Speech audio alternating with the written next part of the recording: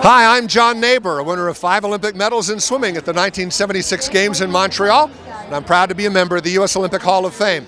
Today we're going to talk about the Olympic spirit. Hi, Nancy Spears. Today, talking to John Naber about mentoring children. John is a, a legend, um, an Olympian. In my mind.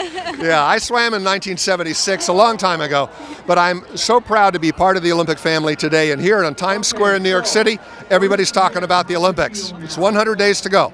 100 days to go. What could you teach someone in 100 days how to find uh, what their passion would be if you had 100 days to do it? Um, Finding your passion, I think, is easy. Everybody knows what they like to do. The trick is to find the coaching and the guidance to do it at a world class level.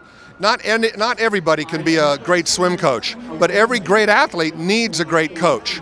And that's so important, a role model. Even in business, you need a mentor in the corporate office who cares about you and your success. The other thing I like to tell kids is that you go to a restaurant, you enjoy a nice full meal, and then they hand you the bill. But that's not the way it is in the real world. In sport, you got to pay first. You got to do the work, burn the calories, you know, lift the weights, do it with nobody watching, and maybe if you've paid enough of a price, maybe they'll bring you the reward later. It's a delayed gratification concept that I remember off the side of a root beer bottle said, no deposit, no return. And that's the method, that's the message that I'd like America to learn today. Fantastic. And so while you're depositing, you're actually getting the gift and returning every day anyway? Well, if you enjoy doing what you're doing, the process is a pleasure. I liked going to workout. And it was a punishment when the coach said, John, you're out of the pool. Take a hike. You're not working out today. I went, no. And the one thing you don't want to have happen is you don't want to win a silver medal at the Olympics knowing that if I just worked a little bit harder, I could have had gold. There's no shame in a silver. I won a silver, and I'm very proud of the silver.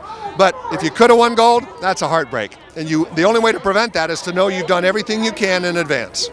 Thank you, John Naber, for sharing your wisdom, your advice uh, for future generations. Um, such a privilege to meet you. Thank you. Go Team USA! Yeah, yeah, absolutely.